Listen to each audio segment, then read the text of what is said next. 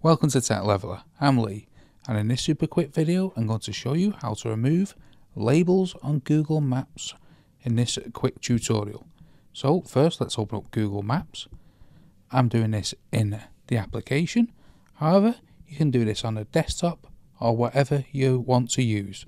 So in the app you want to press saved here across the bottom. This will bring up all your saved locations so whether you've put it in the favourites, want to go, travel plans, or you have your own little list. What you want to do, you want to go into that list. And as you can see here, I have this as my favourite place, the park. So what you want to do is you want to press these three little dots here. And then you can edit the note, remove the place or cancel. As we want to remove the label, we'll select remove place and that will be removed. Again, we've got one more in there, so you can come in and it'll just be that on its own.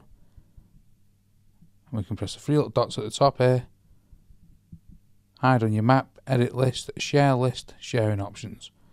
So edit list, and we can press X on it like that, press save, and now we should have no places saved.